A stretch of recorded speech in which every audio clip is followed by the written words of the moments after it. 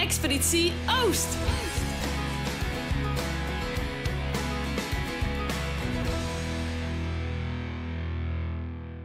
Ja, en met Expeditie Oost kom je echt overal. Ik ben in Iselaat, ziekenhuis.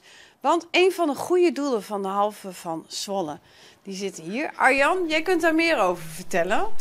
Ja, het goede doel is de stichting Care for Brittle Bone. Dat is een stichting die opkomt voor mensen met broze bottenziekte, osteogenesis imperfecta. En wij als ziekenhuis hebben het expertisecentrum daarvoor en zijn daar ontzettend uh, aan gelinkt, zeg maar. En supporten dat uh, goede doel uh, eigenlijk. En hebben, willen ons daarvoor inzetten. Hè. Heel belangrijk vinden wij dat de patiënt en het ziekenhuis steeds dichter bij elkaar komen.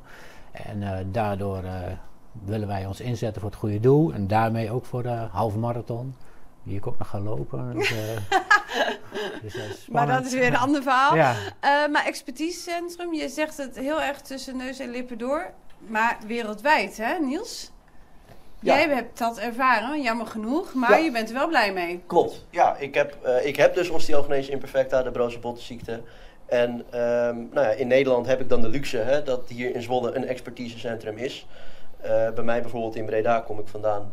Uh, daar is dat niet. Als ik daar naar het ziekenhuis ga, dan merk ik ook meteen hè, dat ze het eigenlijk niet goed aanpakken. En daarom voel ik me hier zo vertrouwd, heel prettig behandeld.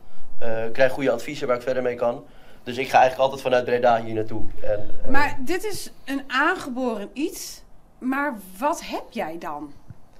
Ik heb dus, ja, de handicap heet osteogenese imperfecta, is de broze bottenziekte. Het is een bindweefselaandoening, waardoor ik eigenlijk heel snel mijn botten breek.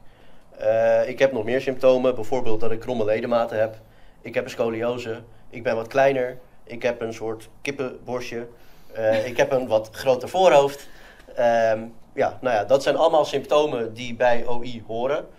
Um, wat bijvoorbeeld ook misschien interessant is om te weten, mijn handicap, mijn type OI, laat ik het dan zo zeggen, is pas 2,5 jaar geleden ontdekt. Dus 25 jaar lang van mijn leven wist men niet wat ik had.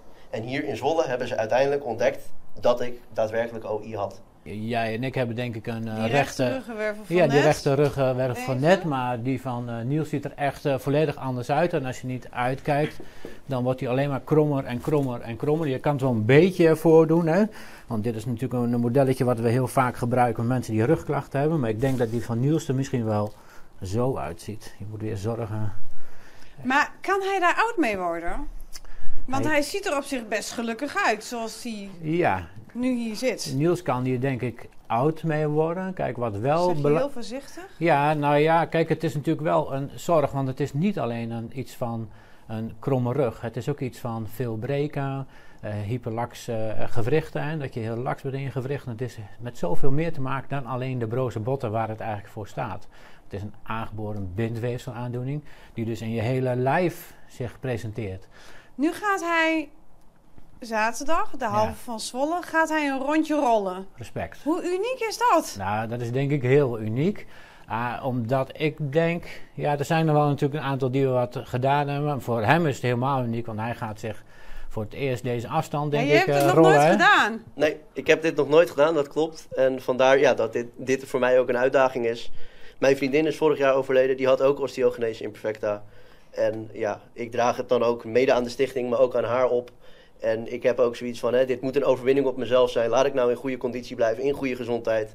En wat is dan beter dan op deze manier ja, daarmee starten en uh, in ieder geval de uitdaging proberen aan te gaan. Jij gaat hem begeleiden, ja, Erik? ik ga hem begeleiden, ja. ja ik uh, loop met hem mee en er loopt nog iemand mee. Om hem uh, um, zeg maar, ja, een beetje vooruit en te kijken van, aan te geven van, nou let hier even op en andere dingen. Jij gaat de halve doen? Ja.